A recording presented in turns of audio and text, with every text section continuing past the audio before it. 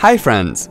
The DSTDEV function in Microsoft Excel is used to calculate the standard deviation based on a sample of a population of values in a field of a list or database that matches the conditions specified by you.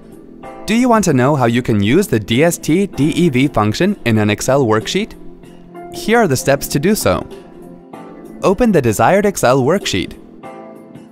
Select the cell where you want to get the function's result. Click on the Insert Function button.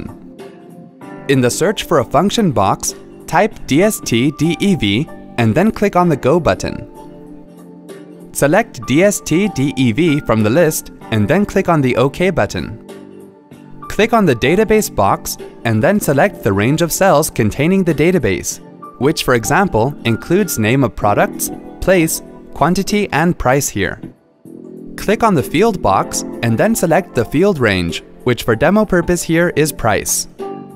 Click on the criteria box and then select the criteria range that contains the condition you specify, which for example here is USB and laptop products.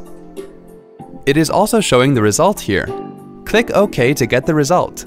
That is the standard deviation based on the sample population of selected database entries. See? That wasn't hard at all. Thanks for watching. For more details, click on the eye icon on the top right of the video. Check out our iYogi channel for self-help videos on Windows, Mac, smartphones, security, social media, and much more. Have something to ask or share? Pen it down in the comments. To get iYogi tech support, dial toll-free numbers. To stay empowered technically, subscribe to our channel.